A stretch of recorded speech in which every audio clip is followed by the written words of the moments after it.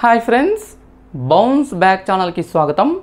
తెలంగాణ రాష్ట్రంలో పోటీ పరీక్షలకు ప్రిపేర్ అవుతున్న అభ్యర్థులకు ప్రస్తుతము ఒక డిసిజన్ తీసుకోవడంలో గందరగోళ పరిస్థితి ఏర్పడ్డది. క్లారిటీ లేకపోవడం వల్ల ఏ డిసిజన్ తీసుకోవాలి అనే గందరగోళమైన పరిస్థితి ఒక కన్ఫ్యూజన్లో ఉన్నారు. అయితే ఇది దేనికి సంబంధించింది అని అంటే గ్రూప్ వన్ మెయిన్స్ అదేవిధంగా గ్రూప్ టూ పరీక్షలు. ఈ గ్రూప్ వన్ మెయిన్స్కి సీరియస్గా ప్రిపేర్ అవ్వాలా? లేదంటే గ్రూప్ టూకి సీరియస్గా ప్రిపేర్ అవ్వాలా? అనే డిసిజన్ తీసుకోవడంలో చాలామంది నన్ను సంప్రదిస్తున్నారు. చాలామంది అంటే నాకు పదుల సంఖ్యలో కాల్స్ మెసేజెస్ రావడంతోన అందరికీ అంటే నాకు తెలిసిన వాళ్ళు నాతో కాంటాక్ట్లో ఉన్న వాళ్ళే కాకుండా ప్రతి ఒక్కరికి కూడా ఒక విలువైన సమాచారాన్ని ఒక గైడెన్స్ని అందించడం వల్ల ఒక కరెక్ట్ డిసిజన్ తీసుకుంటారు అనే ఉద్దేశంతోనే ఈ వీడియో చేయడం జరుగుతుంది. కాబట్టి వీడియోని పూర్తిగా చూడండి. పూర్తిగా చూస్తేనే నేను ఏం చెప్తున్నా ఎందుకు చెప్తున్నా ఎలా చెప్తున్నా అనేది క్లారిటీ వస్తుంది. దాంతోపాటు ఈ వీడియోలో చెప్పే ఏ అంశం కూడా ఎవరిని డిస్కరేజ్ చేయడం కోసమో ఎవరిని బాధ పెట్టడం కోసమో లేదంటే ఎవరికి వ్యతిరేకంగానో చెప్తున్నాయి కావు. ప్రాక్టికల్గా అంటే నాకున్నటువంటి గత పది పన్నెండు సంవత్సరాల అనుభవము ప్రస్తుతం ఉన్నటువంటి పరిస్థితులు అదేవిధంగా అనేక ఇతర పారామీటర్స్ని తీసుకొని ఒక ఒక అనాలిసిస్ చేసి చెప్తున్నటువంటి సమాచారం కాబట్టి ఎవరు కూడా దీన్ని వ్యతిరేకంగా లేదంటే నెగిటివ్గా చూసే ప్రయత్నం చేయొద్దు. పాజిటివ్గానే అర్థం చేసుకోండి. నచ్చితే ఓకే నచ్చకపోతే లైట్ తీసుకోండి. Okay? So friends group two group two exam దాంతోపాటు గ్రూప్ వన్ ప్రిలిమ్స్ క్వాలిఫై అయినటువంటి ముప్పై ఒక్క వేలకు పైగా ఉన్నటువంటి అభ్యర్థులు ఇప్పుడు ఏ డిసిజన్ తీసుకోవాలి అనే దానిపైన ఇప్పుడు మనం డిస్కస్ చేయబోతున్నాం. అయితే మీరు గ్రూప్ టూ ప్రిపేర్ అవ్వాలా? గ్రూప్ వన్ మెయిన్స్కి ప్రిపేర్ అవ్వాలా? అనేది నేను డిసైడ్ చేయలేను. అది మీరే డిసైడ్ చేసుకోవాలి. కానీ మీరు డిసైడ్ చేసుకోవడం కోసము కొన్ని కొన్ని పారామీటర్స్ ఉండాలి. కొన్ని కొన్ని అంశాలను ప్రాతిపదికగా తీసుకొని మీరు ఒక నిర్ణయం తీసుకోవడానికి అవకాశం ఉంటుంది కాబట్టి అవి ఏంటి అనేది కంపారేటివ్గా అంటే గ్రూప్ వన్ మెయిన్స్ అంటే గ్రూప్ వన్ మెయిన్స్ మరియు గ్రూప్ టూని కంపారేటివ్గా చెప్పే ప్రయత్నం అయితే చేస్తా. చాలా బాగుంటుంది. కాకపోతే కొద్దిగా లెంత్ ఎక్కువ ఉంటుంది నా వీడియోస్ అన్ని కూడా. మొత్తం చూడండి. సో ఫ్రెండ్స్ ఇక టాపిక్లోకి వెళ్ళిపోయినట్లయితే TGPSC group one versus group two group one mains versus group two okay? అయితే ఇక్కడ ఫస్ట్ ఒక ఒక విషయాన్ని క్లారిఫై చేసిన తర్వాత మిగతా మొత్తం టాపిక్లకు వెళ్ళిపోదాము. గ్రూప్ టూ అంటున్నారు గ్రూప్ వన్ మెయిన్స్ అంటున్నారు. మరి కంపేర్ చేసేటప్పుడు గ్రూప్ వన్ మెయిన్స్కి అయితే క్లారిటీ ఉంది. గ్రూప్ వన్ మెయిన్స్ వచ్చేసి అక్టోబర్ ఇరవై ఒకటి నుంచి అక్టోబర్ ఇరవై ఏడు రెండు వేల ఇరవై నాలుగు ఆ తేదీల్లో జరగబోతుంది. గ్రూప్ టూ కూడా ప్రస్తుతము అంటే ఇప్పటికే ఇచ్చినటువంటి ఎగ్జామ్ డేట్స్ ప్రకారము ఆగస్టు ఏడు ఎనిమిదిన షెడ్యూల్ అయి ఉన్నాయి. అయితే ఇప్పుడు రాష్ట్రం మొత్తం ఉన్నటువంటి ఒక పెద్ద గందరగోళం ఏంటంటే group two exams postpone అవుతున్నాయా? లేదంటే షెడ్యూల్ ప్రకారమే జరుగుతున్నాయా? అని చెప్పేసి ఆ, ఒక గందరగోళమైనటువంటి క్లారిటీ లేనటువంటి ఒక సిచ్యువేషన్ ఉంది. ముఖ్యంగా మీడియాలో వస్తున్నటువంటి అంటే ఎలక్ట్రానిక్ మీడియా కావచ్చు ప్రింట్ మీడియా కావచ్చు అదేవిధంగా సోషల్ మీడియా కావచ్చు. రకరకాల వ్యక్తుల ద్వారా రకరకాల కథనాల ద్వారా వస్తున్నటువంటి సమాచారాలు చూసిన తర్వాత పోస్ట్పోన్ అవుతుంది అని చెప్పేసి అందరు ఫిక్స్ అయి ఉన్నటువంటి సందర్భంలో అఫీషియల్గా పబ్లిక్ సర్వీస్ కమిషన్ నుంచి వెబ్ నోట్ అనేది ఇలాంటిది రాకపోవడం వల్ల అసలు పోస్ట్పోన్ అవుతుందా అవ్వదా అని చెప్పేసి ఒక గందరగోళమైనటువంటి పరిస్థితి ఉంది. అయితే దీనిపైన ప్రభుత్వం అంటే ప్రభుత్వం ఇక్కడ కూడా అధికారికంగా అనౌన్స్ చేయలేదు. పబ్లిక్ సర్వీస్ కమిషన్ కూడా ఇక్కడ అధికారికంగా అనౌన్స్ చేయలేదు. అయితే మరి ఏంటి? ప్రస్తుతం ఉన్నటువంటి పరిస్థితి ఏంటి అని చెప్పేసి చాలామంది నన్ను అడుగుతున్నారు. నేనేమంటున్నానంటే అంటే నాకు తెలిసినటువంటి సమాచారము అనధికార సమాచారము not offi not official unofficial information ప్రస్తుతం ప్రస్తుతం ఉన్నటువంటి పరిస్థితులు ఇవన్నిటిని అంచనా వేసుకుంటే గ్రూప్ టూ ఎగ్జామ్ అనేది గ్రూప్ టూ ఎగ్జామ్ అనేది పోస్ట్పోన్ అవ్వడానికి అవకాశాలు ఎక్కువ ఉన్నాయి ఎక్కువ అంటే మళ్ళీ ఎంత అవకాశాలు ఉన్నాయి అని చెప్పేసి కూడా మీరు నెక్స్ట్ అడుగుతారు. మీకు ఉన్నటువంటి డౌట్ ఉంటుంది. So friends group two exam postpone అవ్వడానికి నైంటీ పర్సెంటేజ్ అవకాశాలు ఉన్నాయి నా అంచనా ప్రకారం. నా అంచనా. నాకున్నటువంటి సమాచారము నాకున్నటువంటి అనుభవము నాకున్నటువంటి అవగాహన ప్రకారం చెప్తున్నా తప్ప ఎక్కడ ఎవరు నాకు అధికారికంగా చెప్పలేదు. కానీ మీరు అడుగుతున్నారు కాబట్టి నేను ఇచ్చే అంటే నా ఉద్దేశం నా ఒపీనియన్ ఏంటంటే ninety percent chances for group two postponement ఒక టెన్ పర్సెంటేజ్ వరకు group two as per schedule జరగడానికి అవకాశాలు ఉన్నాయి అయితే ఇక్కడ మీరు గుర్తుపెట్టుకోవాల్సిన అంశం ఏంటంటే అఫీషియల్గా వచ్చేంత వరకు అఫీషియల్గా అధికారికంగా వచ్చే వరకు అంటే ఈ ఎగ్జామ్ని నిర్వహించే పబ్లిక్ సర్వీస్ కమిషన్ నుంచి అధికారికంగా ఒక వెబ్ నోట్ రూపంలో కానీ ఇతర రూపంలో కానీ ప్రకటన వచ్చేంత వరకు కూడా నేను కాదు కదా భగవంతుడు వచ్చి అంటే దేవుడు వచ్చి చెప్పినా కూడా మీరు వినండి జస్ట్ కానీ మీ ప్రిపరేషన్లో మీరు ఉండండి. అంటే అధికారికంగా వచ్చేంత వరకు ప్రస్తుతం ఉన్నటువంటి తేదీలనే ప్రామాణికంగా తీసుకొని మీ ప్రిపరేషన్ కొనసాగించాల్సి ఉంటుంది. ఓకే? ఇది ఇది ప్రతి ఒక్కరికి అంటే నీకు నాకు అందరికీ వర్తిస్తుంది. నేను ప్రిపేర్ అయినా నాకు కూడా ఇదే వర్తిస్తుంది. కాబట్టి క్లారిటీ ఒకటి ఏంటంటే నాకున్నటువంటి అంచనా ప్రకారము నైంటీ పర్సెంటేజ్ వరకు ఈ ఎగ్జామ్ పోస్ట్పోన్ అవ్వడానికి అవకాశాలు ఎక్కువ ఉన్నాయి దాదాపుగా పోస్ట్పోన్ అవుతుంది అని తెలుస్తుంది. ఇప్పుడు అంటే నేను ఈ వీడియో చేస్తున్నటువంటి సమయానికల్లా ఇప్పుడున్నటువంటి ఇప్పటి వరకు ఉన్నటువంటి క్లారిటీ అంటే ఈ వీడియో మీరు చూస్తున్నటువంటి సమయాన్ని కాదు. మీరు ఇప్పుడు చూడొచ్చు గంట తర్వాత చూడొచ్చు ఒక రోజు తర్వాత చూడొచ్చు ఒక వారం తర్వాత చూడొచ్చు ఒక నెల తర్వాత చూడొచ్చు ఈ వీడియోని కానీ నేను ఈ వీడియో రికార్డ్ చేసే టైంకి నాకున్నటువంటి ఒపీనియన్ నాకున్నటువంటి క్లారిటీ ఇది. ఓకే కానీ అఫీషియల్ కాదు. మళ్ళీ మళ్ళీ ఎందుకు చెప్తున్నా అంటే మీరు ఒక్కొక్కరు ఒక రకంగా అర్థం చేసుకుంటారు కాబట్టి చెప్తున్నా. Okay? So friends group two postpone అవ్వడానికి ఎక్కువ అవకాశాలు ఉన్నాయి నైంటీ పర్సెంటేజ్ వరకు అవకాశాలు ఉన్నాయి యాజ్ పర్ షెడ్యూల్ జరగడానికి టెన్ పర్సెంటేజ్ అవకాశాలు ఉన్నాయి ఇప్పుడు మనము అసలైన మ్యాటర్లోకి వెళ్ళిపోదాము. మరి గ్రూప్ వన్ ప్రిపేర్ అవ్వాలా? గ్రూప్ టూ ప్రిపేర్ అవ్వాలా? లేదంటే రెండు ప్రిపేర్ అవ్వాలా అంటే condition number one case number one ఒకవేళ గ్రూప్ టూ పోస్ట్ పోన్ కాకపోతే అంటే యాజ్ పర్ షెడ్యూలే కనుక జరిగితే అప్పుడు మనకు within twenty five days అంటే twenty five twenty six days ఉన్నాయి. ఇరవై నాలుగు ఇరవై ఐదు రోజులు ఇరవై ఐదు రోజులకు పైగా ఉన్నాయి ఇరవై ఆరు రోజులు అనుకుంటా. ఈ ట్వంటీ ఫైవ్ డేస్ తర్వాత మనకు మొత్తం గ్రూప్ వన్ మీద ఫోకస్ చేసే అవకాశం ఉంటుంది. ఈ ట్వంటీ ఫైవ్ డేస్ ఇటు గ్రూప్ టూ ఉంటుంది అదేవిధంగా గ్రూప్ వన్ ఉంటుంది. ఒక డైలమా ఉంటుంది.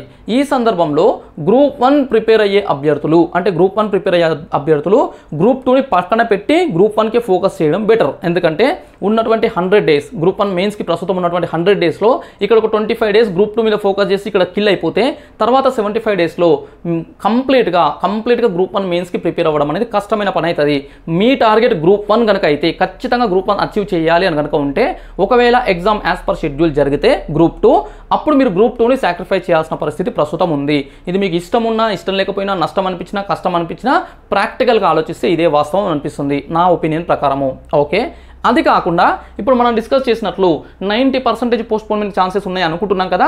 ఒకవేళ అదే కనుక జరిగి ఎగ్జామ్ పోస్ట్పోన్ కనుక అయితే గ్రూప్ టూ ఎగ్జాము అప్పుడు మళ్ళీ గ్రూప్ వన్కి టైం దొరుకుతుంది గ్రూప్ టూకి టైం దొరుకుతుంది. గ్రూప్ వన్కి ఎలాగో హండ్రెడ్ డేస్ ఉంది.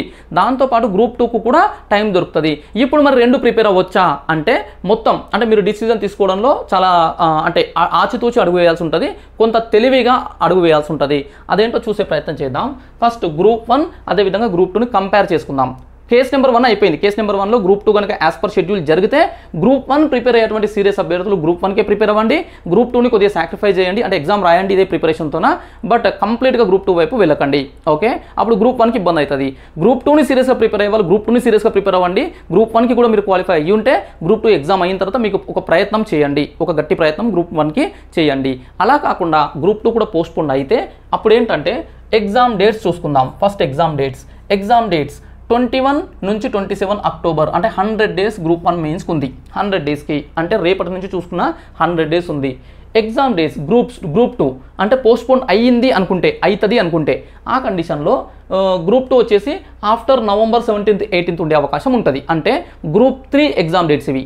November seventeenth eighteenth group three అయిన తర్వాత వారం రోజులకు పదిహేను రోజులకు పదిహేను రోజులకు ఉండే అవకాశం ఉంటుంది. అంటే నవంబర్ చివరిలో కానీ డిసెంబర్ మొదటి వారంలో కూడా మొదటి వారంలో ఉండే అవకాశం ఉంటుంది. అంటే వన్ థర్టీ ప్లస్ డేస్ ఇక్కడ దొరుకుతాయి. ఇక్కడ హండ్రెడ్ డేస్ ఇక్కడ వన్ థర్టీ డేస్ దొరికే అవకాశం ఉంది. గ్రూప్ వన్ మెయిన్స్కి హండ్రెడ్ డేస్ గ్రూప్ టూకి వన్ థర్టీ డేస్ అనేటివి దొరికే అవకాశం ఉంది. ఇది డేట్స్ విషయంలో ఎగ్జామ్కి ఉండే టైం విషయంలో. నెక్స్ట్ ఎగ్జామ్ ప్యాటర్న్ అంటే పరీక్ష విధానం చూసుకున్నట్లయితే ఎగ్జామ్ ప్యాటర్న్ డిస్క్రిప్టివ్ అంటే మనము క్వశ్చన్కి ఆన్సర్ అనేది వ్యాస రూపంలో అంటే మనము ఆన్సర్ చేతితో రాయాల్సినటువంటి పరిస్థితి మనకు గ్రూప్ వన్ మెయిన్స్లో ఉంటుంది. పరీక్ష వచ్చేసి ప్రతి పేపర్ మూడు గంటల పాటు రాయాల్సి ఉంటుంది. త్రీ అవర్స్ ఉంటుంది.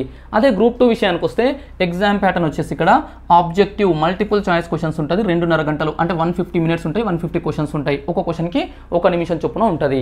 అయితే ఇక్కడ కాంపిటీషన్ చూద్దాం. అంటే ఇవన్నీ పారామీటర్స్ ఎందుకు చెప్తున్నా అంటే మీరు డిసిజన్ తీసుకోవడం కోసము. కాంపిటీషన్ చూసినట్లయితే గ్రూప్ వన్కి గ్రూప్ వన్కి వన్ ఈస్ టు ఫిఫ్టీ అంటే ప్రస్తుతం ఇచ్చినటువంటి సెలక్షన్ లిస్ట్ ప్రకారం వన్ ఇస్ టు ఫిఫ్టీ అదేవిధంగా సంబంధిత కేటగిరీలలో షార్ట్ ఫాల్ అయినప్పుడు ఆ షార్ట్ ఫాల్ ఎంత తక్కువ అయినో అంతమందిని ఎక్స్ట్రా క్వాలిఫై చేయడం వల్ల ఇరవై ఎనిమిది వేల ఐదు వందలు ఉండాల్సింది ముప్పై ఒక వేల సంథింగ్కి వెళ్ళడం అయితే జరిగింది. అయితే వన్ ఇస్ టు ఫిఫ్టీ అనుకోవచ్చు. ఒకవేళ ప్రభుత్వం కనుక వన్ ఈజ్ టు హండ్రెడ్ ఇస్తే అంటే ఇప్పటికి ప్రస్తుతము తెలంగాణలో ఒక పెద్ద ఉద్యమం జరుగుతుంది. ఆ ఉద్యమంలో నాలుగైదు రకాల ప్రధాన డిమాండ్లు ఉన్నాయి. అందులో గ్రూప్ వన్ మెయిన్స్కి వన్ ఈజ్ టు హండ్రెడ్ చొప్పున సెలెక్ట్ చేయాలి అనేది కూడా ఒక డిమాండ్ ఉంది. ఈ డిమాండ్ అనేది ఎందుకు ఉంది? దానిపైన ఏం జరుగుతుంది? ఇవ్వొచ్చా? ఇవ్వకూడదా? అనే దానిపైన నేను నెక్స్ట్ వీడియోలో చెప్పే ప్రయత్నం చేస్తా. అయితే ప్రభుత్వం కనుక ఈ డిమాండ్ని యాక్సెప్ట్ చేసి ఒక జీవో అనేది జారీ చేసి public service commission one is to hundred కనుక ఇస్తే అప్పుడు ఒక పోస్టుకు వంద మంది చొప్పున కాంపిటీషన్ ఉంటుంది. ప్రస్తుతం వన్ ఈస్ టు ఫిఫ్టీ ఉంది. ఆఫీస్ అఫీషియల్గా ఒకవేళ ఇస్తే కనుక వన్ ఇస్ టు హండ్రెడ్ అవుతుంది. ఇది కాంపిటీషన్ పోటీ. అదే ఇక్కడ పోటీ చూసినట్లయితే గ్రూప్ టూలో కాంపిటీషన్ వచ్చేసి one is to seven hundred plus ఉంది. ఒక పోస్టుకు ఏడు వందలకు పైగా పోటీ పడుతున్నారు. హెవీ కాంపిటీషన్ హెవీ కాంపిటీషన్ ఇక్కడ ఉంది. అంటే ఈ మధ్య కాలంలో వచ్చినటువంటి అన్ని నోటిఫికేషన్లలో డివిజనల్ అకౌంట్స్ ఆఫీసర్ డిఏఓ తర్వాత అత్యధిక కాంపిటీషన్ అంటే రేషియో వైజ్గా చూస్తే ఒక పోస్టుకు అప్లై చేసినటువంటి ఒక పోస్టుకు ఎంతమంది చొప్పున అప్లై చేశారని చూసినట్లయితే సెకండ్ హైయెస్ట్ కాంపిటీషన్ ఉన్నటువంటిది group two examination. Okay? DAO చాలా ఎక్కువ ఉన్నది. అదేవిధంగా ఇప్పుడు ఇది ఉంది. అయితే ఇక ఒకవేళ ఇక్కడ వేకెన్సీస్ పెంచాలనే డిమాండ్ ప్రధానంగా కనిపిస్తుంది. గ్రూప్ టూ గ్రూప్ త్రీలో వేకెన్సీస్ పెంచి ఎగ్జామ్ని గ్రూప్ టూని డిసెంబర్కి వాయిదా వేసి కండక్ట్ చేయండి అనే డిమాండ్ అనేది చాలా ప్రధానంగా ఉన్నటువంటి డిమాండ్లలో ఒకటి. ఒకవేళ దీని కనుక ప్రభుత్వం యాక్సెప్ట్ చేసి పెంచితే అప్పుడు కొంత రేషియో తగ్గే అవకాశం ఉంది. కానీ వేకెన్సీస్ పెంచితే మళ్ళీ కొత్త వాళ్ళకి అప్లికేషన్స్ కనుక ఇస్తే మళ్ళీ అప్లికేషన్స్ కూడా పెరుగుతాయి. అందుకని చెప్పేసి ప్రస్తుతం ఉన్నటువంటి సమాచారం ప్రకారం మనము one is to seven hundred plus అనుకుంటే ఇది హెవీ కాంపిటీషన్గా మనం భావించవచ్చు ఇప్పుడున్న అంటే ఎగ్జామ్స్ అయిపోయినాయి కాకుండా ప్రస్తుతం లైవ్గా ఉన్నటువంటి వాటిలో అత్యధిక కాంపిటీషన్ ఉన్నటువంటి exam group two examination. Okay? ఈ విషయంలో గ్రూప్ వన్ అనేది కొద్దిగా బెటర్ అన్నట్లుగా మనకు అనిపిస్తుంది. నెక్స్ట్ సీరియస్ ప్రిపరేషన్ అయితే కాంపిటీషన్ ఎంతమంది ఉన్నారు? ఎంతమంది రాయడానికి సిద్ధంగా ఉన్నారు? ఎంతమంది రాసే అవకాశం ఉంది అనేది పక్కన పెడితే సీరియస్ కాంపిటీషన్ ఎంతమంది ఉంది? ఎంతమందికి ఉంది? ఎంతమంది నిజంగా ప్రిపేర్ అవుతున్నారని చూసినట్లయితే ఇక్కడ serious preparation for group one mains తీసుకుంటే వన్ ఈస్ టు ఫిఫ్టీన్ అంటే one is to fifty select చేశారు. అయినప్పటికీ ఒక పోస్టుకు పది నుంచి పదిహేను మంది మాత్రమే సీరియస్ ప్రిపరేషన్లో ఉంటారు. సీరియస్ ప్రిపరేషన్ అంటే అన్ని సబ్జెక్ట్స్ అంటే మొత్తం సిలబస్ని చదువుకోవడము ఆన్సర్ రైటింగ్ ప్రాక్టీస్ చేసుకోవడము క్వశ్చన్కి ఆన్సర్ కరెక్ట్ రాసేటువంటి ఒక స్ట్రక్చర్ తీసుకురావడము ఇన్ టైంలో క్వశ్చన్స్ కంప్లీట్ చేయడము వీటన్నిటిపైన అనేక అంశాలు ఉంటాయి. అవన్నీ ఫోకస్ చేస్తున్నటువంటి అభ్యర్థులు వన్ ఇస్ టు టెన్ లేదా వన్ ఇస్ టు ట్వెల్వ్ లేదా వన్ ఇస్ టు ఫిఫ్టీనే ఉంటారు.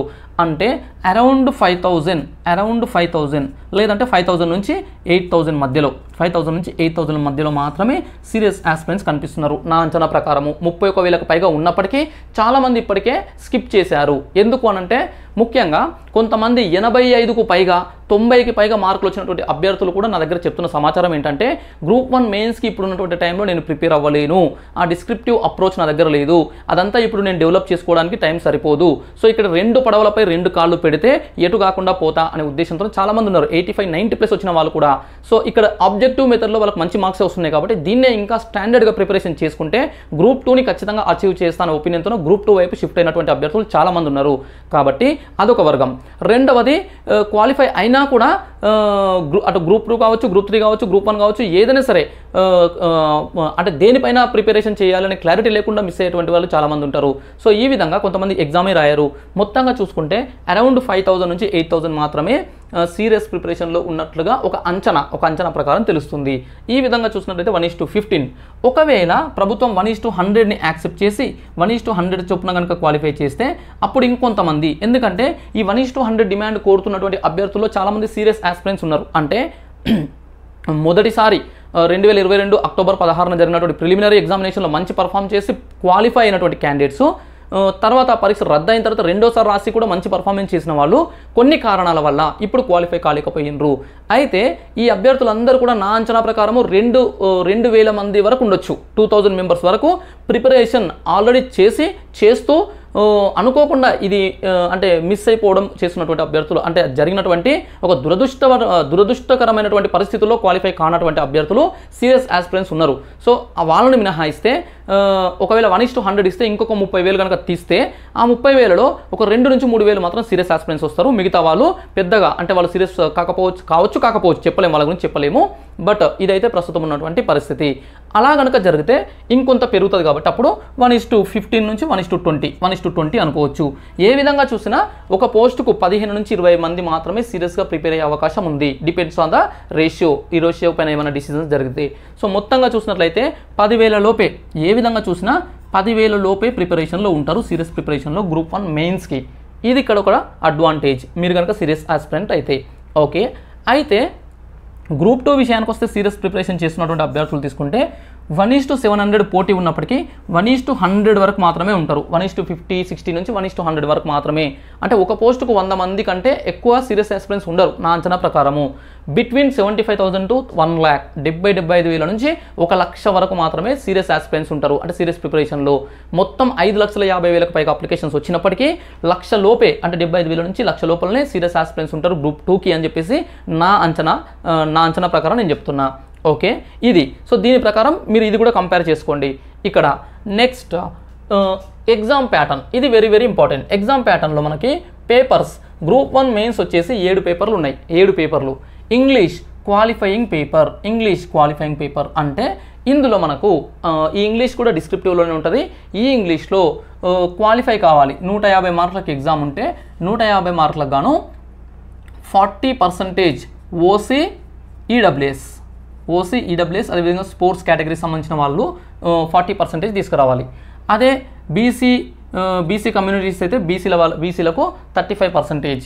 ఎస్సీ ఎస్టీలకు అయితే థర్టీ పర్సెంటేజ్ అన్నట్లుగా మనకు నోటిఫికేషన్లో పేర్కొన్నారు.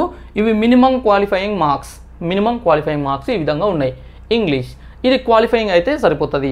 ఆ పైన ఎన్ని మార్కులు వచ్చినా పెద్ద పట్టింపు ఉండదు. కానీ క్వాలిఫై కాకపోతే ఒకవేళ ఇంగ్లీష్ క్వాలిఫై కాకపోతే మిగతా ఎక్సలెంట్ రాసినా స్టేట్ ఫస్ట్ ర్యాంక్ వచ్చినా కూడా ఉపయోగం అయితే ఉండదు. నెక్స్ట్ జనరల్ ఎస్ఏ ఉంటుంది. Group general studies paper one ఉంటుంది. జనరల్ స్టడీస్ పేపర్ టూ ఉంటుంది. పేపర్ త్రీ ఉంటుంది. ఫోర్ ఫైవ్ ఐదు జనరల్ స్టడీస్ పేపర్లు ఒకటి ఎస్ఏ పేపర్ మొత్తం ఆరు పేపర్లు తొమ్మిది వందల మార్కులు ఉంటుంది. సిలబస్ చూస్తే కూడా హ్యూజ్ సిలబస్ చాలా హెవీ సిలబస్ అనిపిస్తుంది. కొన్ని సందర్భాలలో ఒక రకంగా ఆలోచిస్తే కొన్ని సందర్భాల్లో కంపేర్ చేసుకుంటే UPSC civil services mains syllabus కంటే కూడా హెవీగా అనిపిస్తుంది. ఎందుకంటే అక్కడ తెలంగాణకు ప్రత్యేకంగా తెలంగాణ ఉద్యమం కానీ తెలంగాణ చరిత్ర కానీ తెలంగాణ జాగ్రఫీ కానీ తెలంగాణ ఎకానమీ కానీ తెలంగాణ కల్చర్ కానీ ఇలాంటివన్నీ మనకు అక్కడ మెయిన్స్లో కనిపించదు. కానీ ఇక్కడ కనిపిస్తాయి. సో ఆ విధంగా కంపేర్ చేస్తే అంటే మళ్ళీ మీరు అక్కడ ఇక్కడ ఇక్కడ అంటే గ్రూప్ వన్ మెయిన్స్లో లేనివి uh, సివిల్ సర్వీసెస్లో ఉన్నవి అవి ఉన్నాయి కదా అని చెప్పేసి కంపారిజన్ చేయకండి. జస్ట్ ఓవర్ యూ జనరల్గా చెప్తున్నా జనరల్గా చెప్తే కొన్ని సందర్భాలలో కొంత కొన్ని సిచ్యువేషన్స్లో group one mains syllabus group civil services కంటే హ్యూజ్ అనిపిస్తుంది. ఇది ఒక ప్రధానమైనటువంటి సమస్య. అంటే ఈ అన్ని పేపర్లకు ప్రిపరేషన్ చేయాలి. జనరల్ స్టడీస్ పేపర్స్ అన్ని మంచిగా రాసిన ఎస్ఏ మంచిగా రాయకపోవచ్చు ఏ లేదంటే ఇంగ్లీష్ క్వాలిఫైయింగ్ కాకపోవచ్చు ఇవన్నీ ఇలాంటి ప్రమాదాలు ఉంటాయి కాబట్టి ఈ ప్రమాదాలన్నీ అంటే మీరు ఈ హండ్రెడ్ డేస్లోనే వంద రోజుల్లోనే అధిగమించాలి. వంద రోజుల్లో. ఈ వంద రోజుల్లో అధిగమించాల్సిన సవాళ్ళు ఏంటంటే గ్రూప్ వన్ మెయిన్స్కి ప్రిపేర్ అయ్యే వాళ్ళు ఒకటి సిలబస్ మొత్తం చదవగలగాలి. ఓకే? రెండవది ప్రతి యూనిట్ నుంచి ప్రతి చాప్టర్ నుంచి ఎలాంటి క్వశ్చన్స్ రాబోతున్నాయి ఎలాంటి క్వశ్చన్స్ వచ్చే అవకాశం ఉందో అంచనా వేసుకోగలగాలి. అంటే మీరు సొంతంగా చేస్తారా? లేదంటే ఏదైనా గైడెన్స్ తీసుకుంటారా? మెంటర్షిప్ తీసుకుంటారా? కోచింగ్ తీసుకుంటారా? ఇవి నేను మాట్లాడట్లే. కానీ చేయాల్సిందైతే అభ్యర్థి ఎగ్జామ్లో రాయాల్సింది అభ్యర్థి. మూడవది పరీక్షలో ప్రతి ఎగ్జామ్ పేపర్ని కూడా పర్ఫెక్ట్గా అంటే ప్రతి ఎగ్జామ్ కూడా కరెక్ట్ మంచిగా రాసే ప్రిపరేషన్ చేయాలి. ఒకటి బాగా రాసి ఒకటి బాగా రాయిపోతే అంత ప్రిపేర్ అయ్యి వేస్ట్ అయిపోతుంది. అదేవిధంగా పదిహేను క్వశ్చన్లకు పదిహేను క్వశ్చన్ల ఆన్సర్ చేసే విధంగా టైం మేనేజ్మెంట్ ప్రాక్టీస్ ఇవన్నీ చేసుకోగలగాలి. ఇలా మల్టిపుల్ మల్టిపుల్ ఆస్పెక్ట్స్లో రెడీ అయ్యి ఉండాలి కాబట్టి ఈ హండ్రెడ్ డేస్లో ఎంతవరకు చేయగలుగుతారు అనేది అతిపెద్ద సవాల్గా మనకి ఇక్కడ కనిపిస్తుంది. కాంపిటీషన్ తక్కువనే కనిపిస్తున్నప్పటికీ ఎందుకంటే వేకెన్సీస్ భారీగా ఉన్నాయి కాబట్టి కాంపిటీషన్ సాధారణంగా తక్కువ అనిపిస్తున్నప్పటికీ ఇక్కడ ఇక్కడ చూసినట్లయితే ఈ సిలబస్ని ఈ ఏడు పేపర్లను సిద్ధం అవ్వడం అనేది అతిపెద్ద సమస్య. అయితే చేయొచ్చు మంచి ప్రిపరేషన్ చేస్తే చేయొచ్చు కానీ అది చూసుకోండి. నెక్స్ట్ గ్రూప్ టూ విషయానికి వస్తే జనరల్ స్టడీస్ పేపర్ ఉంటుంది ఆబ్జెక్టివే. హిస్టరీ పాలిటీ సొసైటీతో కూడినటువంటి సెకండ్ పేపర్ ఉంటుంది. ఇది ఆబ్జెక్టివే ఎకానమీ అండ్ డెవలప్మెంట్కి సంబంధించి పేపర్ ఉంటుంది. ఇది ఆబ్జెక్టివే multiple choice క్వశ్చన్సే Telangana movement and state formation ఇది కూడా ఆబ్జెక్టివే ఈ నాలుగు పేపర్లు ఉంటాయి. నాలుగు పేపర్లు మాత్రమే ఉంటుంది. రెండు రోజుల్లో ఎగ్జామ్ అయిపోతుంది. ఓకే అన్ని మల్టిపుల్ చాయిస్ క్వశ్చన్సే ఇక్కడ ఇది ప్రిపేర్ అవ్వాలంటే గ్రూప్ వన్ మెయిన్స్ ప్రిపేర్ అవ్వాలంటే మీరు ఇప్పటికే ప్రిపేర్ అయ్యి ఉంటే నో ప్రాబ్లం కానీ కొత్తగా ప్రిపేర్ అవ్వాలి ఇప్పుడిప్పుడే స్టార్ట్ చేయాలనుకుంటే మాత్రము ఆ మొత్తం ఈ హండ్రెడ్ డేస్లోనే ఆ షేప్ తీసుకురావడానికి ఆ స్ట్రక్చర్ తీసుకురావడానికి ఆ ప్రిపరేషన్ ఆ ప్రజెంటేషన్ అనేది రెడీగా ఇవ్వడానికి రెడీగా తయారవడానికి చాలా వర్క్ చేయాల్సి ఉంటుంది చాలా జాగ్రత్త చేయాల్సి ఉంటుంది. ఇక్కడైతే మీరు సిలబస్ని ఇప్పటివరకు చదివి ఉన్నా చదవకపోయినా కరెక్ట్గా ఫోకస్ చేసి ఆబ్జెక్టివ్స్ కొన్ని టెస్టులు రాసి ప్రాక్టీస్ చేసుకుంటే దీన్ని కరెక్ట్గా అటెంప్ట్ చేయడానికి గ్రూప్ టూలో ఇది ఒక ఫెసిలిటీ మనకు అనిపిస్తుంది. Next total marks. Total marks వచ్చేసి మనకి ఇక్కడ నైన్ హండ్రెడ్ ఉన్నాయి. గ్రూప్ వన్ మెయిన్స్లో నైన్ హండ్రెడ్ ఉన్నాయి. Excluding qualifying paper. అంటే క్వాలిఫైయింగ్ పేపర్ని పక్కన పెడితే మిగతా పేపర్లు చూస్తే ఆరు పేపర్లకు తొమ్మిది వందల మార్కులు ఉన్నాయి. ఎన్ని మార్కులు వస్తే మనకు ఉద్యోగం వచ్చే అవకాశం ఉంటుందంటే fifty percentage to fifty five percentage of the total marks. అంటే మొత్తం తొమ్మిది వందల మార్కులో యాభై నుంచి యాభై ఐదు శాతం వస్తే ఖచ్చితంగా ఏదో ఒక మంచి ర్యాంకు ఏదో ఒక ఉద్యోగము గ్రూప్ వన్ మెయిన్స్లో క్వాలి పాస్ అయ్యి ఉద్యోగం వచ్చే అవకాశం ఉంటుంది. అంటే నాలుగు వందల యాభై నుంచి ఐదు వందల మార్కులు తెచ్చుకోగలిగితే ఉద్యోగం దాదాపుగా సాధించినట్లే. ఎందుకంటే మనకి ఏ క్వశ్చన్ కూడా పదికి పది మార్కులు వేసే పరిస్థితి ఉండదు. ఆరు నుంచి ఏడు మార్కులు వేస్తే అదే ఎక్కువ. కాబట్టి సో ఫ్రెండ్స్ ఇక్కడ టోటల్ మార్క్స్ నైన్ హండ్రెడ్ అయినప్పటికీ uh, ఎక్స్పెక్టెడ్ మార్క్స్ uh, అంటే ఇది కట్ ఆఫ్ కట్ ఆఫ్ అని కాదు ఎక్స్పెక్టెడ్ ఎన్ని సాధించగలగాలి అంటే నాలుగు వందల యాభై నుంచి ఐదు వందలు సాధించగలిగితే you will be definitely in the final selection list అదే ఇక్కడ తీసుకున్నట్లయితే total marks six hundred six హండ్రెడ్కి ఎక్స్పెక్టెడ్ కట్ ఆఫ్ అనుకోవచ్చు. ఎక్స్పెక్టెడ్ కట్ ఆఫ్ ప్రస్తుతం వస్తున్నటువంటి ప్రశ్నాపత్రాల సరళిని చూసినట్లయితే ఇప్పుడున్నటువంటి standard of the question paper applicants vacancies ఇవన్నీ కొంత ప్రామాణికంగా తీసుకొని వాటిని బేస్ చేసుకొని చెప్పినట్లయితే ఫోర్ ట్వంటీ నుంచి four fifty out of six hundred నాలుగు వందల ఇరవై నుంచి నాలుగు వందల యాభై వరకు ఈ మధ్య ఈ మధ్యలో సేఫ్ స్కోర్ ఉండొచ్చు. అంతకంటే ఎక్కువ వస్తే ఇంకా సేఫ్ అయితే కొన్ని సందర్భాల్లో డిఫికల్ట్ పేపర్ కనుక వస్తే నాలుగు వందల మార్కులు వచ్చినా కూడా హండ్రెడ్ పర్సెంట్ జాబ్ వచ్చే పరిస్థితి కూడా ఉంటుంది గ్రూప్ టూ విషయంలో. ఓకే ఇదొకటి. నెక్స్ట్ ఇప్పుడు టైం ఫర్ ఈచ్ క్వశ్చన్ ఇక్కడ ఇది రాయాలనుకుంటే మనం ఎలా రెడీ అవ్వాలంటే ముఖ్యంగా గ్రూప్ వన్ మెయిన్స్లో ఉన్నటువంటి అతిపెద్ద సవాల్ ఇదే. ఏంటంటే మనకున్నటువంటి టైం మూడు గంటలు అంటే త్రీ అవర్స్ అంటే వన్ ఎయిటీ మినిట్స్ క్వశ్చన్స్ వచ్చేసి పదిహేను. అంటే ఒక క్వశ్చన్కి పన్నెండు నిమిషాలు పన్నెండు నిమిషాలు దొరుకుతుంది. ఒక క్వశ్చన్కి పన్నెండు నిమిషాలు. కానీ ప్రాక్టికల్గా ఏం జరుగుతుంది ఎగ్జామినేషన్లో అంటే నేను గతంలో రాసినటువంటి ఎగ్జామ్స్ మెయిన్స్ అనుభవంగా చెప్తున్నా. ముఖ్యంగా ఏపీపీఎస్సీ గ్రూప్ వన్ మెయిన్స్ రాసేటప్పుడు నేను ఈ- ఈ సమస్య ఎదుర్కొన్నా గతంలో. ఇదేంటంటే మనకు ఈ ఈ వన్ ఎయిటీ అంటే వన్ ఎయిటీ మినిట్స్లో ఫిఫ్టీన్ క్వశ్చన్స్ రాయాలి కదా ట్వెల్వ్ మినిట్స్. ఇక్కడ సాధారణంగా ఫస్ట్ ఒక థర్టీ సెకండ్స్ ఒక థర్టీ సెకండ్స్ క్వశ్చన్ చదవడానికి సరిపోతుంది. ఫర్ ఎగ్జాంపుల్ ఏదైనా ఒక క్వశ్చన్ హిస్టరీ అనుకుందాం. ఓకే హిస్టరీలో సింధులోయ నాగరికతకు సంబంధించినటువంటి అంటే సింధులోయ నాగరికత అనేది మలివేద నాగరికతతో ఏ విధంగా భిన్నంగా ఉండింది అని చెప్పేసి అడిగారు అనుకుందాం ఓకే? లేదంటే differences between Indus valley civilization and later Vedic civilization అని చెప్పేసి అడిగారు అనుకుందాం ఇక్కడ తొలి వేదం కాదు మలివేద కాలము. దాన్ని సింధులోయ నాగరికతతో కంపేర్ చేయాలి డిఫరెన్సెస్ అనేది మనం బయటకు తీయాలి. ఇది క్వశ్చన్ అనుకుందాం జస్ట్ ఒక శాంపుల్ క్వశ్చన్ ఇలా తీసుకున్నప్పుడు ఫస్ట్ క్వశ్చన్ ఆ క్వశ్చన్ ఏం అడిగాడు? చదవడానికి ఒక థర్టీ సెకండ్స్ అయిపోతుంది. తర్వాత డిమాండ్ ఆఫ్ ది క్వశ్చన్ అర్థం చేసుకోవాలి. ఆ క్వశ్చన్లో ఏం అడుగుతున్నాడు? సింధులోయ నాగరికత అని కనబడగానే సింధులోయ నాగరికతకు సంబంధించి మొత్తం డీటెయిల్స్ రాయాల్సిన అవసరం లేదు. అంటే సింధులోయ నాగరికత ఎప్పుడు పుట్టింది? ఎప్పటి వరకు ఉండింది? ఆ, వాళ్ళ కాలంలో ఉన్నటువంటి అంటే వాళ్ళ సివిలైజేషన్కి సంబంధించినటువంటి టౌన్ ప్లానింగ్ కావచ్చు లేదంటే వాళ్ళ యొక్క ఎకానమీ కావచ్చు వాళ్ళ యొక్క అగ్రికల్చర్ కావచ్చు వాళ్ళ యొక్క రిలీజియన్ కావచ్చు వాళ్ళ వాళ్ళకి సంబంధించినటువంటి ఏ అక్కడ అడగట్లేదు. ఓకే? అంటే ఈ యాంగిల్లో అడగట్లేదు. ఆ పాయింట్స్ కొన్ని రావచ్చు కానీ ఈ యాంగిల్లో అడగట్లేదు. ఇక్కడ సింధులోయ నాగరికతని మలివేద నాగరికతతో పోలుస్తున్నాడు. అప్పుడు ఏం చేయాలంటే ఈ రెండిట్లో ఉన్నటువంటి అంటే డిఫరెన్సెస్ కావచ్చు లేదంటే పోలికలు అడిగితే పోలికలు కావచ్చు ఆ డిమాండ్ను మనం పసిగట్టుకోవాలి. క్వశ్చన్లో ఉన్నటువంటి కొన్ని కీవర్డ్స్ ఆధారంగా ఏం కావాలంటున్నాడో అది రాయాలి. ఓకే? అనవసరమైనటువంటి సొల్లు ఎంత రాసినా మార్కులు పడవు. అక్కడ కావాల్సింది ఇప్పుడు నేను మనం తీసుకున్నటువంటి ఎగ్జామినేషన్లో ఏ ఏ అంశాలలో రెండింటికి తేడాలు ఉన్నాయి? ఏ ఏ అంశాలలో రెండింటికి తేడాలు ఉన్నాయి. ఆ అంశాలు పోల్చేటప్పుడు అక్కడ మతం రావచ్చు స్త్రీల గురించి రావచ్చు ఆర్థిక వ్యవస్థ గురించి రావచ్చు అదేవిధంగా వాళ్ళ యొక్క వాణిజ్యం గురించి రావచ్చు వాళ్ళ యొక్క జీవన విధానం గురించి రావచ్చు సమాజం గురించి రావచ్చు అన్ని అంశాలు రావచ్చు. కానీ కంపారిజన్ రెండింటిని కంపేర్ చేస్తూ డిఫరెన్స్ ఎట్లా ఉంది అడుగుతున్నాడు. ఈ విధంగా మనం కంపేర్ చేసుకునే క్వశ్చన్ వచ్చినప్పుడు ఆ విధంగా రాయాలి. అదే ఇంకొక క్వశ్చన్ ఏదైనా విమర్శనాత్మకంగా రాయండి అని అంటే విమర్శనాత్మకంగా రాయాలి. లేదనంటే పోల్చండి అంటే పోల్చాలి. లేదనంటే దేనైనా సమర్థించండి అంటే వాళ్ళు ఇచ్చినటువంటి దాన్ని సమర్థిస్తూ రాయాల్సి ఉంటుంది. ఏ సబ్జెక్ట్ అయినా ఏ పేపర్ అయినా. ఈ విధంగా డిమాండ్ ఆఫ్ ది క్వశ్చన్ అర్థం చేసుకోవాలి. We must understand the demand of the question అది ఒక థర్టీ సెకండ్స్లో అండర్స్టాండ్ చేసుకోవాలి. ఏం అడుగుతున్నాడు? ఏం కావాలంటున్నాడు? క్వశ్చన్ ఏంటి? డిమాండ్ ఏంటి? అది వన్ మినిట్ అయిపోతుంది. తర్వాత ఇప్పుడు ఈ అడిగిన క్వశ్చన్కి నీ దగ్గర కంటెంట్ ఉందా లేదా? నీ దగ్గర కంటెంట్ ఉందా లేదా? డిసైడ్ అవ్వడానికి ఒక టెన్ టు ట్వంటీ సెకండ్స్ లేదా థర్టీ సెకండ్స్ పడుతుంది. ఎస్ ఇప్పుడు క్వశ్చన్ అడిగారు నా దగ్గర నాలెడ్జ్ ఉంది నేను చేయగలుగుతాను అని చెప్పేసి ఒక కంటెంట్ ఉందా లేదా అని ఒక క్లారిటీ తెచ్చుకోవడానికి ఒక థర్టీ సెకండ్స్ పడుతుంది. ఇది కూడా మినిమం టైం అంటే మీరు కరెక్ట్ ప్రాక్టీస్ చేస్తేనే థర్టీ సెకండ్స్ ఇట్లా పడుతుంది లేదంటే వన్ టూ మినిట్స్ ఇక్కడ ఎగిరిపోతుంటాయి. ఆ తర్వాత ఇప్పుడు ఒక ఫ్రేమ్ మైండ్లో ఒక ఫ్రేమ్ చేసుకోవాలి. మైండ్లో ఏం రాయాలి అనుకోవడానికి థర్టీ సెకండ్స్ నుంచి వన్ మినిట్ వరకు మైండ్లో ఒక స్ట్రక్చర్ వచ్చేసేయాలి. ఓకే సేమ్ ఇదే క్వశ్చన్ అడిగితే ఇప్పుడు Indus valley civilization later Vedic period civilization అడుగుతున్నాడు. ఈ రెండింటిని డిఫరెన్స్ అడుగుతున్నాడు డిఫరెన్స్ సెన్సెస్ ఒక టెన్ పాయింట్స్ రాయాలనుకుంటే ఆ టెన్ పాయింట్స్ సంబంధించి ఇంట్రడక్షన్ తర్వాత బాడీ తర్వాత కంక్లూజన్ నువ్వు ఏ విధంగా రాయాలనుకుంటున్నావో అదంతా ఒక థర్టీ సెకండ్స్ నుంచి వన్ మినిట్ వరకు నీ మైండ్లో ఒక బ్లూ ప్రింట్ అనేది వచ్చేసేయాలి. ఒక స్ట్రక్చర్ అనేది వచ్చేసేయాలి. ఇప్పుడు టూ మినిట్స్ లేదా త్రీ మినిట్స్ ఇక్కడ ఎగిరిపోతుంది. టూ మినిట్స్ లేదా త్రీ మినిట్స్ మిగతా తొమ్మిది నుంచి పది నిమిషాలు ఏదైతే ఉంటుందో అప్పుడు ఇంకా పేపర్ మీద పెట్టి రాస్తూనే పోవాలి. ఓకే అంతేగాని రెండు లైన్లు రాసి ఇట్లా ఆలోచించుకుంటూ మూడు లైన్లు రాసి ఇంకో పాయింట్ గుర్తు తెచ్చుకుంటూ పోతే పదిహేను నిమిషాల నుంచి ఇరవై నిమిషాలు పడుతుంది ఒక ఆన్సర్ రాయడానికి. ఓకే సో ఈ సవాల్ని ఖచ్చితంగా ఎదుర్కోవాలి. ఖచ్చితంగా అందరికీ ఎదురవుతుంది ఎవరికైనా సరే ఎంత తోపైనా ఇది దాటుకొని వెళ్ళాల్సిందే. సో ప్రతి క్వశ్చన్ ఇది ఒకటే క్వశ్చన్ కా అంటే కాదు. పదిహేను క్వశ్చన్లు చేయాలి. ఇది ఒకటే పేపర్ కా అంటే కాదు. ఆరు పేపర్లు చేయాలి. ఇది ఈ విధమైనటువంటి ప్రాక్టీస్ చేస్తే ఇక్కడ సక్సెస్ రావడానికి చాలా మంచి అవకాశాలు ఉన్నాయి. ఓకే కానీ ఇది అతిపెద్ద సవాల్. This one is very very important అదే ఇక్కడ గ్రూప్ టూ విషయానికి వస్తే time for each question time for each question one minute ఒక నిమిషం మాత్రమే అరవై సెకండ్లే. దీంట్లో ఇంక ఇవన్నీ అవసరం లేదు. క్వశ్చన్ డిమాండ్లు క్వశ్చన్ అండర్స్టాండ్ క్వశ్చన్ క్వశ్చన్లో ఉన్నటువంటి డిమాండు దాని యొక్క స్ట్రక్చరు ఒక బ్లూ ప్రింట్లు వైర్ ప్రింట్లు ఇలాంటి ఏమీ ఉండవు. క్వశ్చన్ని కరెక్ట్ అర్థం చేసుకోవాలి. క్వశ్చన్ని అర్థం చేసుకోవడం అయితే మస్ట్ ఎందుకంటే క్వశ్చన్ తప్పుగా అర్థం చేసుకున్నా తప్పు చదివినా తప్పు ఆన్సర్ పెడతాము.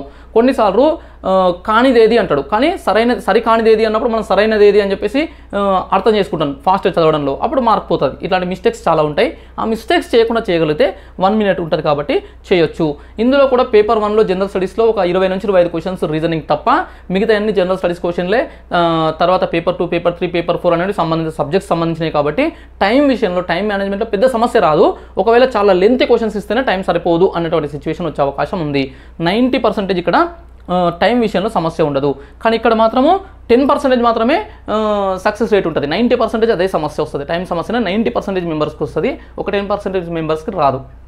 ఇది దీనికి రెండింటికి ఉన్నటువంటి డిఫరెన్స్ ఇక్కడ ఇప్పుడు మనం ఏం చేయాలి గ్రూప్ టూలో అంటే plan A plan B plan B question paper చూడగానే ఒక ఐదు నిమిషాలు మొత్తం క్వశ్చన్ పేపర్లో క్వశ్చన్ అన్ని పేపర్స్ కరెక్ట్ వచ్చినాయా లేదా చూసుకొని ఒకసారి పేపర్ని మొత్తం తిప్పేయండి అని చెప్పేసి నేను ఇంతకుముందు కూడా గతంలో చెప్పిన.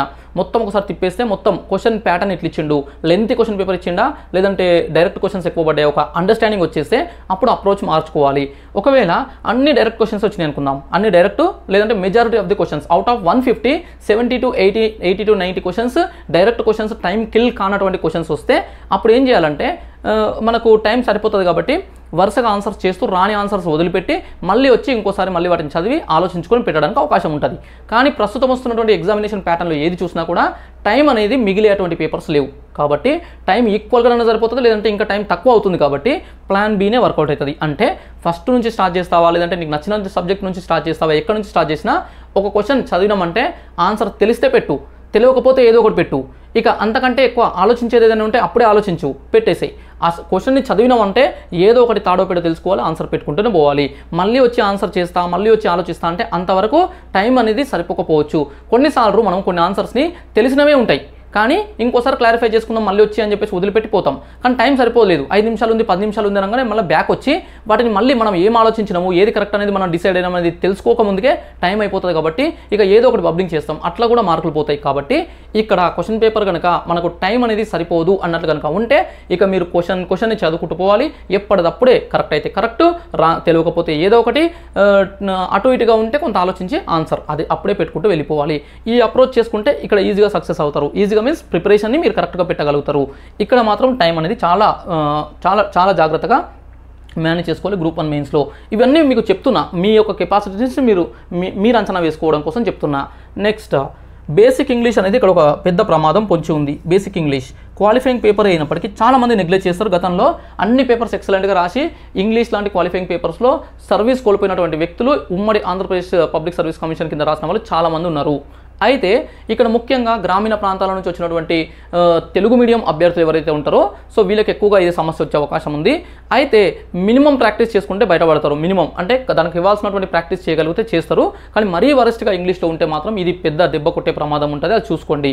ఎందుకంటే మిగతా మిగతా పేపర్లు ఎంత ఎక్సలెంట్ రాసినా ఇది క్వాలిఫైయింగ్ అయితేనే ఈ పేపర్స్ కన్సిడర్ చేయబడతాయి కాబట్టి. అయితే ఈ క్వాలిఫైయింగ్ పేపర్ విషయంలో నెగ్లిజెన్సీ మాత్రం వద్దు. ఫార్టీ పర్సెంటేజ్ ఓసీఈడబ్ల్యూసీ వాళ్ళకు ఉంది థర్టీ ఫైవ్ పర్సెంటేజ్ బీసీలకు ఎస్సీ ఎస్టీలకు థర్టీ పర్సెంటేజ్ అంటే నూట యాభై మార్కులకు వీళ్ళకి నలభై ఐదు మార్కులు వస్తే సరిపోతుంది ఓసీలకు అరవై మార్కులు వస్తే సరిపోతుంది బీసీలకు అయితే యాభై రెండు పాయింట్ ఐదు మార్కులు వస్తే సరిపోతుంది. ఓకే? ఇది ఒకటి చూసుకోండి. జాగ్రత్త జా అంటే నెగ్లిజెన్సీ అనేది పనికిరాదు ఇక్కడ. ఇక్కడ వచ్చేవరకు బేసిక్ ఇంగ్లీష్ విషయంలో పదిహేను నుంచి ఇరవై క్వశ్చన్స్ వస్తాయి. మీరు కనుక గ్రామీణ ప్రాంత విద్యార్థులు అయ్యి ఎంత ప్రిపరేషన్ అయినా చేయలేకపోతున్నాం చదవలేకపోతున్నాము అన్నటువంటి పరిస్థితి వస్తే paper four paper three paper two అదేవిధంగా పేపర్ వన్లో మిగతా సబ్జెక్ట్స్ అవన్నీ కరెక్ట్గా చూసుకుంటే ఒక్క పదిహేను పదిహేను నుంచి ఇరవై మార్కులను స్కిప్ చేసి అంటే ఎగ్జామినేషన్లో వరుసగా ఏదో ఒకటి బబ్లింగ్ చేయడం కానీ లేదంటే మీకు ఏది కరెక్ట్ అనిపిస్తుంది బబ్లింగ్ చేయడం కానీ చేస్తే మూడు మార్కులు నాలుగు మార్కులు ఐదు మార్కులు ఎన్నో కొన్ని ఇరవైలో మూడో నాలుగో ఐదో మీ అదృష్టం కొద్దీ కరెక్ట్ అయ్యే అవకాశం ఉంటుంది. మిగతా వాటిని మీరు కరెక్ట్గా చేసుకుంటే దీన్ని కొద్దిగా స్కిప్ చేసినా కొంత బయటపడవచ్చు అంటే పెద్ద ప్రమాదం అయితే జరగదు. అంటే మళ్ళీ అన్ని అంటే మిగతా అన్ని కరెక్ట్ ఉన్నప్పుడు ఇది ఒకటి స్కిప్ స్కిప్ చేయడం వల్ల అంటే మీకు రావట్లేదు. మీరు రెండు మూడు నెలలు లేదా ఉన్నటువంటి టైంలో మీరు చేయలేకపోతున్నారంటే స్కిప్ చేసినా కూడా మీరు బయటపడవచ్చు గ్రూప్ టూలో ఇంగ్లీష్ విషయంలో. ఇంగ్లీష్ విషయంలో ఉన్నటువంటి ప్రమాదం. అదేవిధంగా బోర్డు మీద ఇంకోటి రాయలేదు. ఇక్కడ మ్యాథ్స్ నాన్ మ్యాథ్స్ స్టూడెంట్స్ ఉంటారు కదా అర్థమెటిక్ రీజనింగ్ డేటా ఇంటర్ప్రిటేషన్ వీటికి సంబంధించి చూసినట్లయితే గ్రూప్ వన్ మెయిన్స్లో మనకి యాభై మార్కులకు ఒక సెక్షన్ ఉంది. యాభై మార్కులకు డేటా ఇంటర్ప్రిటేషన్ ఉంది. ఈ డేటా ఇంటర్ప్రిటేషన్లో ముప్పై క్వశ్చన్స్ ఇస్తారు. ఇరవై ఐదు క్వశ్చన్స్ అటెంప్ట్ చేయాలి. ఒక క్వశ్చన్కి రెండు మార్కులు యాభై మార్కులు మొత్తము. ఇది మ్యాథ్స్ స్టూడెంట్స్కి పెద్ద ప్రమాదం కాదు. ఎందుకంటే ఆల్రెడీ ప్రాక్టీస్ ఉంటారు డేటా ఇంటర్ప్రిటేషన్ చేయగలుగుతారు. కానీ నెగ్లిజెన్సీ వద్దు. బట్ పెద్ద సమస్య కాదు. నాన్ మ్యాథ్స్ స్టూడెంట్స్కి అది కూడా సమస్యగా ఫీల్ అవుతున్నారు అక్కడ మార్కులు తగ్గే అవకాశం ఉంటుంది. కానీ డేటా ఇంటర్ప్రిటేషన్ అనేది చెయ్యలేనటువంటి సబ్ ఏరియా ఏం కాదు. ఓకే? కొంత ప్రాక్టీస్ చేసి బేసిక్స్ నేర్చుకుంటే నాన్ మ్యాథ్స్ స్టూడెంట్స్ కూడా డేటా ఇంటర్ప్రిటేషన్ని చేయగలుగుతారు. ఎంత చెప్పినా ఎంత ధైర్యం చెప్పినా కూడా అయినా కూడా మెంటల్గా ఎంతో కొంత బ్లాక్ ఉంటుంది బ్లాకేజ్ ఉంటుంది ఇక్కడ కాబట్టి ఎంతో కొంత కంపేర్ టు మ్యాథ్స్ స్టూడెంట్స్ ఒక ఐదు నుంచి పది మార్కులైనా ఇట్లా కొద్దిగా అటు ఇటుగా ఉండే అవకాశం ఉంటుంది. అదే ఇక్కడికి వస్తే మనకు రీజనింగ్ ఉంటుంది జనరల్ స్టడీస్లో reasoning and data data interpretation ఇక్కడ రీజనింగ్ అండ్ డేటా ఇంటర్ప్రిటేషన్ అనేది ఇది కూడా నాన్ మ్యాథ్స్ స్టూడెంట్స్ కొద్దిగా ఇబ్బంది అనిపిస్తుంది కానీ నేర్చుకుంటే ఇది చేయొచ్చు. ఈ రెండు విషయాలలో ఈ రెండింటికి కూడా కొద్దిగా సమస్య ఉంది. ఇక్కడ యాభై మార్కులు ఇక్కడ ఇరవై నుంచి ఇరవై ఐదు మార్కులు ఉంది. దాన్ని కొద్దిగా జాగ్రత్త చూసుకోండి. ఎందులో అయినా నాన్ మ్యాథ్స్ స్టూడెంట్స్ కొంత ప్రాక్టీస్ చేయాల్సిందే. నెక్స్ట్ డ్యూరింగ్ ద ఎగ్జామినేషన్ పరీక్ష రాసేటప్పుడు జరిగే ఒక సమస్య ఏంటంటే గ్రూప్ వన్ మెయిన్స్కి might lose the confidence might lose the confidence అంటే ఏడు పేపర్లు ఏడు పేపర్లు paper one qualifying paper paper two general essay okay second రాసేది. తర్వాత వచ్చేటివి సబ్జెక్ట్ వైజ్గా హిస్టరీ కావచ్చు పాలిటీ కావచ్చు జాగ్రఫీ కావచ్చు ఎకానమీ కావచ్చు అదేవిధంగా సైన్స్ అండ్ టెక్నాలజీ కావచ్చు డేటా ఇంటర్ప్రిటేషన్ కావచ్చు తెలంగాణ మూవ్మెంట్ కావచ్చు వీటికి సంబంధించినటువంటి different different subjects different different పేపర్లో ఉన్నాయి. రాసేటప్పుడు ఏమవుతుందంటే ఇలాంటి mains more than five six papers ఉన్నటువంటి uh, యూపీఎస్సీ మెయిన్స్ లాంటివి ఏపీపీఎస్సీ మెయిన్స్ లాంటివి తె- Telangana public service commission mains లాంటివి ఇట్లాంటివి రాసేటప్పుడు ఏమవుతుందంటే మనకు ఒక వారం రోజుల పాటు ఎగ్జామ్స్ జరుగుతాయి. జరిగేటప్పుడు మధ్యలో ఏదైనా ఒక పేపర్ కనుక మనం మంచిగా రాయకలేకపోతే అది అనేది మనం బాగా దెబ్బతీస్తుంది. అది నెక్స్ట్ వచ్చే పేపర్ల పైన ఇంపాక్ట్ చూపిస్తుంది. For example English qualifying paper బాగా రాయలేదనుకో ఒకవేళ నెక్స్ట్ పేపర్స్ ఎంత ప్రిపేర్ అయి ఉన్నా నేను ఇంగ్లీష్లో పోతుందేమో అనే భయం ఒకటి వెంటాడుతుంది. మిగతా ఆ ఐదు ఆరు పేపర్ల పైన దాని యొక్క ప్రభావం ఉంటుంది. అది ఎంతో కొంత ప్రతి పేపర్లో ఐదు పది మార్కులను దెబ్బతీ దెబ్బతీసే విధంగానే ఉంటుంది. ఒకవేళ ఇంగ్లీష్ బాగా రాసిన ఎస్ఎల్ బాగా రాయలేదనుకో ఫర్ ఎగ్జాంపుల్ ఎస్ఏలు మూడు ఎస్ఎల్ రాయాలి యాభై యాభై మార్కులు. ఈ మూడు ఎస్ఎల్ రాసేటప్పుడు నీకు టైం జరపక రెండే రాసినావు అనుకో బాగా రాసావు కానీ రెండే రాసినావు టైం అయిపోయింది. ఇక అది మొత్తం మైండ్ ఇంకా దెబ్బతీస్తుంది. అంటే నేను ఒక ఎస్ఏ రాయలేదు. ఇప్పుడు నేను వంద మార్కులకే పేపర్ అటెంప్ట్ చేసిన. ఎంత బాగా రాసినా కూడా డెబ్బై మార్కులు డెబ్బై మార్కుల వరకు లేదంటే గరిష్టంగా ఎనభై మార్కుల కంటే ఎక్కువ రావు. అదే మూడు ఎస్ఏలు మంచి రాసినటువంటి అభ్యర్థులు వంద దాటించే అవకాశం కూడా ఉంటుంది. కాబట్టి ఈ విధమైనటువంటి వాటి వల్ల నెక్స్ట్ పేపర్స్ పైన ఎఫెక్ట్ పడుతుంది. లేదంటే మధ్యలో ఏదో ఒక పేపర్ ఎకానమీ పేపర్ లేదా ఏదో ఒక పేపర్ సరిగ్గా రాయకపోతే తర్వాత ఉన్నటువంటి పేపర్ల పైన ప్రమాదం జరుగుతుంది. అంటే డ్యూరింగ్ ద ఎగ్జామినేషన్ అంటే ఆ సెవెన్ డేస్ మధ్యలో ఎక్కడో ఒక దగ్గర మనకి ఇలాంటి అనుభవాలు ఎదురయ్యే ప్రమాదం ఉంటుంది కాబట్టి దానివల్ల చాలామంది నష్టపోతారు. ఇవన్నీ ప్రాక్టికల్గా ప్రాక్టికల్గా నేను ఫేస్ చేసి అదేవిధంగా నా మిత్రులు చాలామంది ఫేస్ చేసిన వాటి ఆధారంగా చెప్తున్నా. జస్ట్ ఏదో అంటే చెప్పాలని చెప్పట్లేదు భయపెట్టాలని చెప్పట్లేదు. సో ఇది అన్నట్లు బట్ అది ఇక్కడ ఉండదు. ఇక్కడ చాలా తక్కువ. ఆ ప్రమాదం ఇక్కడ గ్రూప్ టూలో తక్కువ. డ్యూరింగ్ ద ఎగ్జామినేషన్ మన కాన్ఫిడెన్స్ అనేది యాక్చువల్గా క్యారీ అవుతుంది. పెద్ద ఇలాంటి సమస్యలు రావు. For example general studies paper రాశారు. రెండే రోజులు ఎగ్జామ్ ఉంటుంది పెద్ద పొద్దున ఒకటి మధ్యాహ్నం ఒకటి నెక్స్ట్ డే పొద్దున ఒకటి మధ్యాహ్నం ఒకటి. జనరల్ స్టడీస్ రాయంగానే బాగా రాయలేదు అనుకుందాం. బాగా రాయలేదు. డిఫికల్ట్ అనిపించిన క్వశ్చన్స్ బాగా రాయలేదు. అలాంటప్పుడు ఏమనిపిస్తుంది అంటే క్వశ్చన్ పేపర్ నాకు డిఫికల్ట్ అనిపించింది అంటే అందరికి డిఫికల్ట్ అయ్యిండొచ్చు కాబట్టి నాకు నేను ఎనభై మార్కులు ఎక్స్పెక్ట్ చేస్తే డెబ్బై వచ్చే అవకాశం ఉంటే మిగతా వాళ్ళకు కూడా తగ్గుతాయి కదా. అనేది ఒకటి వస్తుంది. రెండవది ఇమీడియట్గా మధ్యాహ్నం పేపర్ ఉంటుంది నెక్స్ట్ పేపర్స్ ఉంటాయి కాబట్టి సో ఆ వాటి మీదకి వెళ్ళిపోతుంది. సో అవైనా మంచి రాయొచ్చు అనేది ఉంటుంది. ముఖ్యంగా మనము నూట యాభై క్వశ్చన్స్కి ఆన్సర్స్ పెడుతున్నామంటే ఆబ్జెక్టివ్లో నూట యాభై క్వశ్చన్స్కి ఒక డెబ్బై తెలిసినాయి అనేది తెలిసినాయి అనుకుందాం. మిగతా ఎనభై తెలియనప్పుడు మనం ఏదో ఒక ఆన్సర్ పెడతాం. ఆ ఏదో ఒక ఆన్సర్ కరెక్ట్ అనిపిస్తుంది కాబట్టి పెడతాం. మనం పెట్టింది ఆన్సర్ కరెక్టే అనిపిస్తుంది కాబట్టి పెడతాం. తర్వాత తప్పులు అవుతుండొచ్చు అందుకని చెప్పేసి ఏమవుతుందంటే ఎగ్జామ్ రాసిన తర్వాత కూడా కీ చూసుకునే వరకు కీ చూసుకునే వరకు పెద్ద ప్రమాదం ఉండదు. కాబట్టి ఎగ్జామ్స్ అన్ని రాసిన తర్వాత కీ చూసుకోవడం బెటర్ కాబట్టి ఒక పేపర్ అయిపోయిన వెంటనే మధ్యాహ్నం వచ్చి బ్రేక్లో ఇంటర్నెట్లో సెర్చ్ చేసి దీనికి క్వశ్చన్ ఆన్సర్ ఏంటి అట్లా సెర్చ్ చేయడం అనేది పెద్ద ప్రమాదకరమైన విషయము. అది చేయకుండా ఉంటే ఇక్కడ కాన్ఫిడెన్స్ అనేది దెబ్బతీయదు. నెక్స్ట్ పేపర్లలో ఆన్సర్స్ అంటే ఇంకో పేపర్ ఇంకో పేపర్ చూసుకోవచ్చు. అంటే ఎందులో ఒక దాంట్లో నేను మంచిగా రాస్తా కదా అనే హోప్స్ ఉంటాయి. అది ఇక్కడ ఎందుకు ఉండదంటే మనకు తెలిసిపోతుంది. పదిహేను క్వశ్చన్స్కి పదే అటెంప్ట్ చేసినాం అనుకో ఐదు రాయలే. అసలు రాయనప్పుడు మార్కులు ఎట్లా వస్తాయి కాబట్టి ఇక్కడనేమో ఏదో ఒకటి పెడితే కరెక్ట్ కావచ్చు అనే ఒక హోప్ ఉంటుంది. ఇక్కడ అలా ఉండదు. సో ఈ ఈ డిఫరెన్సెస్ ఇక్కడ ఉన్నాయి ఇక్కడ during the examination seven days ఏదో ఒక సందర్భంలో మన కాన్ఫిడెన్స్ దెబ్బ జరగొచ్చు. అంటే నేను భయపడట్లే కానీ ప్రాక్టీస్ చేస్తే అది కూడా అధిగమించవచ్చు దాన్ని కూడా ఓవర్కమ్ చేయొచ్చు. ఓకే? ఇక్కడ మాత్రం ఆ ప్రమాదం ఉండదు. నాలుగు పేపర్లు రాసినాక కీ చూసుకుంటాం కదా ఏదైనా ఇన్స్టిట్యూట్స్ పెట్టిన వాళ్ళవి అఫీషియల్కి అప్పుడు చుక్కలు కనిపిస్తాయి చుక్కలు కనిపిస్తాయి. కానీ అప్పటికి ఎగ్జామ్ రాసింటాం కాబట్టి పెద్ద ప్రమాదం ఉండదు. ఇది గ్రూప్ టూకి సంబంధించి. Next after the examinations after the examinations group one mains రాసిన తర్వాత నువ్వు ఎంత కాన్ఫిడెంట్గా రాసినా ఎంత పర్ఫెక్ట్గా రాసినా హండ్రెడ్ పర్సెంట్ సర్వీస్ నాకు వస్తుంది జాబ్ నాకు వస్తుంది అని చెప్పుకునే సిచ్యువేషన్ చాలా రేర్. ఎక్కడో కొన్ని సందర్భాలలో ఆరు పేపర్లకు ఆరు పేపర్లు పదిహేను క్వశ్చన్లకు పదిహేను క్వశ్చన్స్ అన్ని ఎక్సలెంట్గా రాసిన ఏదో ఒక ర్యాంకు అంటే టాప్ హండ్రెడ్లో రాకపోయినా టాప్ ఫైవ్ హండ్రెడ్లో అయినా వస్తుంది అనే ఒక కాన్ఫిడెన్స్ ఉంటే కొంతమంది చెప్పుకోగలుగుతారు. కానీ మ్యాక్సిమం ఇక్కడ పేపర్ ఎగ్జామ్ రాసిన వెంటనే మనకు ఒక గ్యారంటీ ఇచ్చుకోలేము ఎందుకంటే మనం రాసింది మనకు కరెక్ట్ అనిపించవచ్చు కానీ ఎగ్జామినేషన్ వాల్యుయేషన్ చేసేటువంటి పర్సన్స్కి వాళ్ళ దగ్గర ఉన్నటువంటి డిమాండ్కి అంటే వాళ్ళు ఏదైతే మార్కులు దేని ప్రకారం మార్కులు వేయాలనుకుంటున్నారో అది మనము ఫుల్ఫిల్ చేసినామా లేదనేది మనకు తెలియదు. కాబట్టి రిజల్ట్స్ వచ్చేంత వరకు దీన్ని ఎక్కడ మనము ఏంటి ఏది అంటే ఏం జరిగింది హండ్రెడ్ పర్సెంట్ మనకు సర్వీస్ వస్తుందని చెప్పుకోలేని పరిస్థితి ఇక్కడ ఉంటుంది. అదొక డ్రాబ్యాక్ కానీ ఇక్కడ ఏంటంటే ఆఫ్టర్ ఎగ్జామినేషన్ అఫీషియల్కి వచ్చినా అంతకంటే ముందే ఇన్స్టిట్యూట్స్ తయారు చేసేటివి కూడా ఒక నైంటీ పర్సెంటేజ్ వరకు యాక్సె యాక్యురసీ ఉంటున్నాయి. అలా కాకపోయినా అఫీషియల్కి అయినా ఒక వారం పది రోజులకు నెల రోజులకు వచ్చినా కీ వచ్చిందనంటే మనం ఏదో ఒకటి డిసైడ్ కావచ్చు. అంటే వస్తుంది అని చెప్పొచ్చు లేదంటే రాదు అని చెప్పేసి వేరే వాటి మీద ఫోకస్ చేయొచ్చు. ఇది ఇక్కడ ఉన్నటువంటి అడ్వాంటేజ్ ఓకే సో ఈ విధంగా ఓవరాల్గా చూసినట్లయితే గ్రూప్ వన్కి కొన్ని అడ్వాంటేజెస్ ఉన్నాయి. అంటే కాంపిటీషన్ విషయంలో కావచ్చు వేకెన్సీస్ ఎక్కువగా ఉండడం కావచ్చు. అదేవిధంగా ఆన్సర్ రైటింగ్ రాసేటప్పుడు మనం కొన్ని కొంత సమాచారం ఎక్కడైనా ల్యాగ్ అయినా కూడా దాన్ని మేనేజ్ చేసుకుంటూ ఓవర్ దాన్ని ఏమంటారు కవర్ చేసుకుంటూ వెళ్ళిపోవచ్చు. సో ఈ విధంగా కొన్ని అడ్వాంటేజెస్ దీనికి ఉన్నాయి. Okay at the same time group కూడా కొన్ని అడ్వాంటేజెస్ ఉన్నాయి. ఇక్కడ కొన్ని డిసడ్వాంటేజెస్ ఉన్నాయి. అవన్నీ మీకు చెప్పిన. ఇప్పుడు మీరు ఏం చేయాలంటే ఒక గంట సేపు రెండు గంటలో ఒక రోజు మొత్తం కూర్చొని నీ యొక్క కెపాసిటీ అంటే నువ్వు మెయిన్స్ ఆన్సర్ రైటింగ్ రాసే కెపాసిటీ నీకు ఎంత ఉంది? గతంలో అనుభవం ఎంత ఉంది? ఇప్పుడు నువ్వు చేయగలుగుతావా? నీ యొక్క ప్లే- బలాలు బలహీనతలు అవన్నీ చూసుకోండి. కొంతమందికి డిస్క్రిప్టివ్ బాగా రాసే కెపాసిటీ ఉంటుంది. కొంతమందికి ఆబ్జెక్టివ్ రాసే కెపాసిటీ ఉంటుంది. ఒక ఎగ్జాంపుల్ చెప్తాను. నేను ఎయిత్ క్లాస్లో ఉన్నప్పుడు నా క్లాస్లో అజయ్ సాగర్ అని ఒక వ్యక్తి ఉండేవాడు. అజయ్ సాగర్ ఒక అబ్బాయి. అతను ఆబ్జెక్టివ్ ఎంత బాగా చేసేవాడంటే అంటే క్విజ్ ఉంటుంది కదా క్లాస్లో ఏ సబ్జెక్ట్ అయినా సోషల్ అయినా సైన్స్ అయినా సోషల్ సైన్సే మోస్ట్లీ అడిగేవాళ్ళు క్విజ్ ఏది అడిగినా సరే టక టక టక ఆన్సర్ చెప్పేవాడు. నేను క్లాస్ ఫస్ట్ కానీ నాకు నేను కొన్ని చెప్పేది చెప్పేవాడిని చెప్పకపోయేవాడిని. కానీ అతను ఒక్కటి కూడా మిస్ అవ్వకుండా ఆన్సర్స్ చెప్పేవాడు. కానీ క్లాస్లో అతను ఫిఫ్త్ సిక్స్త్ వచ్చేవాడు. ఎందుకని చూస్తే డిస్క్రిప్టివ్ రాసే ఆన్సర్స్లో సరిగా రాసేవాడు కాదు. అంటే అతనుకున్న ప్లస్ పాయింట్ ఏంటి అతని యొక్క బలం ఏంటి అంటే ఆబ్జెక్టివ్లో ఆన్సర్స్ చేయడం. అతని యొక్క బలహీనత అంటే బలహీనత అనలేము కానీ బలం అయితే ఇది. సో నా బలం ఏంటి? ఆబ్జెక్టివ్ కంటే పేపర్ మీద రాయడం నా బలం. అందుకే నేను క్లాస్ ఫస్ట్ వచ్చేవాడిని సో ఈ విధంగా పర్సన్ పర్సన్ బట్టి కొంత డిఫరెన్స్ ఉంటుంది. కాబట్టి అది మీ మీ- మీది మీకే తెలుస్తుంది. ఇప్పుడు నేను ఒక పర్సన్ నా ముందరకు వచ్చి అన్నా నేను ప్రిపేర్ అవ్వాలా? వద్దా? నేను గ్రూప్ అని పనికొస్తానా? పనికిరానా? అంటే నేను చెప్పను చెప్పలేను. ఆ అర్హత నాకు లేదు.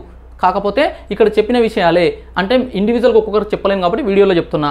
ఈ అన్ని అంశాలను మీరు అంచనా వేసుకొని మీరు మీకు చెక్ చేసుకొని అప్పుడు డిసైడ్ అవ్వచ్చు. యువర్ uh, అంటే uh, మీరు గ్రూప్ టూ సక్సెస్ అవ్వగలుగుతారా? గ్రూప్ అన్న అయితే నేను చెప్పే కొన్ని క్లారిటీ అంశాలు ఏంటంటే రెండు అంటే ఎగ్జామ్ పోస్ట్పోన్ ఒకవేళ గ్రూప్ టూ పోస్ట్పోన్ అయినా కూడా వన్ థర్టీ డేస్ దొరికినా కూడా రెండింటి మీద ఫోకస్ చేస్తే ఇబ్బంది అవుతుంది. Either group one or group two అదే చేయండి. అంతేగాని రెండు చేస్తానంటే అది మీ ఇష్టం. చేయొద్దని నేను చెప్పలేను. కానీ ఈ రెండిటికైతే ఇబ్బంది అయ్యే అవకాశం ఎక్కువ ఉంది అదేవిధంగా ఇంకొక అంశము.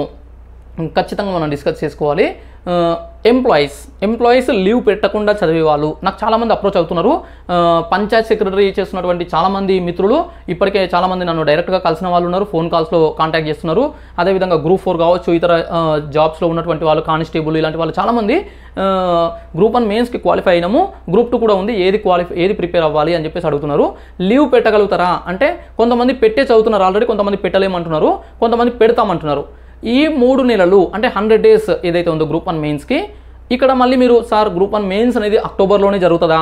వన్ ఈస్ టూ హండ్రెడ్ ఇస్తే పోస్ట్ పోన్ అవ్వదా? ఇలాంటి ఇలాంటి కాసేపు పక్కన పెట్టండి. అవి ఏమైనా జరగవచ్చు కానీ ప్రస్తుతం ఉన్నటువంటి షెడ్యూల్ ప్రకారం చూసినట్లయితే ఈ హండ్రెడ్ డేస్ ఉంది మన చేతుల్లో కాబట్టి ఒకవైపు జాబ్ని మేనేజ్ చేస్తూ జాబ్ని మేనేజ్ చేస్తూ ఇక్కడ ప్రిపేర్ అవ్వడం అనేది దాదాపుగా అసాధ్యం. మీకు ఇష్టం ఉన్నా నష్టం అనిపించినా నా మాటలు కష్టం అనిపించినా ఇదే నిజం. దాదాపుగా కష్టం. ఎందుకంటే మీ ఉద్యోగాలలో ఉండే బాధ్యతలు ఏంటో మీకు తెలుసు. పంచాయత్ సెక్రటరీలకు అయితే ఇక ఎన్ని బాధ్యతలు ఉంటాయి అనేది మొత్తం గ్రామం గ్రామం మొత్తం మీ నెత్తిన ఉంటుంది. అంటే అది బాధ్యత తప్పు కాదు. కానీ ఆ, దాన్ని బ్యాలెన్స్ చేస్తూ ఒకవైపు కుటుంబాన్ని మళ్ళీ కుటుంబ బాధ్యతలను మోస్తూ ఈ దానికి టైం అనేది ఇవ్వలేకపోతారు. టైం ఇస్తే మీకు కెపాసిటీ ఉందేమో కానీ daily eight to ten hours అయినా మినిమం ఇవ్వాల్సినటువంటి పరిస్థితి ఉంది కాబట్టి అది ఇవ్వగలిగితే ఓకే. లేదంటే ఖచ్చితంగా లీవ్ పెట్టుకోండి. లేదు లీవ్ పెట్టలేని పరిస్థితి ఉంది. అక్కడ లీవ్ పెట్టలేము. ఇక్కడ prepare అవ్వాలనుకుంటున్నామంటే it is better to it is better to shift shift to group two group టూకి షిఫ్ట్ అవ్వచ్చు. ఓకే సో ఇంకొకటి గ్రూప్ టూకు ఉన్నటువంటి సపోర్టింగ్ ఏంటంటే గ్రూప్ త్రీ గ్రూప్ టూకు ఉన్నటువంటి సపోర్టు గ్రూప్ త్రీ. అంటే గ్రూప్ త్రీనే ముందు ఉంటుంది యాక్చువల్గా ఒకవేళ పోస్ట్ పోన్ అయితే గ్రూప్ త్రీని ముందు ఉంటుంది గ్రూప్ త్రీ నవంబర్ పదిహేడు పద్దెనిమిదికి ఉంటుంది. గ్రూప్ టూ కనుక పోస్ట్ పోన్ అయితే నవంబర్ ఎండింగ్ లేదా డిసెంబర్కి వెళ్తుంది. కానీ ఏది ముందు జరిగినా ఏది వెనక జరిగినా గ్రూప్ త్రీ అనేది ఒక సపోర్టింగ్గా ఉంది. గ్రూప్ టూలో మీరు బార్డర్కి వచ్చి మిస్ అయినా గ్రూప్ గ్రూప్ టూలో గ్రూప్ టూలో బార్డర్కి వచ్చి మిస్ అయ్యే ఛాన్స్ ఉన్నా గ్రూప్ త్రీలో అయినా మీరు సర్వీస్ కొట్టే అవకాశం ఉంటుంది. కాబట్టి depends on your capacity depends on your situation your time and your mentality your way of preparation way of approach your positives and your negatives ఇవన్నిటిని ఇక్కడ చెప్పిన అంశాలను కంపేర్ చేసుకొని you can decide but either of the one only you must decide if you decide both then you will be in the risk area రిస్క్లో ఉంటారు. అంటే మీకు కాదు మీ చేత కాదు అని చెప్పేసి నేను చెప్పాను కానీ ఇదైతే risk okay I wish all the best ఇంకా ప్రిపరేషన్ మీద ఫోకస్ చేయండి. సో ఏవైనా సరే పాజిటివ్గానే జరుగుతాయని చెప్పేసి ఆశిద్దాం. ఓకే? చూస్తూ ఉండండి బౌన్స్ బైక్ ఛానల్ నచ్చింది అనుకుంటాను నచ్చితే లైక్ చేయండి షేర్ చేయండి ఛానల్ సబ్స్క్రైబ్ చేసుకోండి. Thank you. Thank you so much.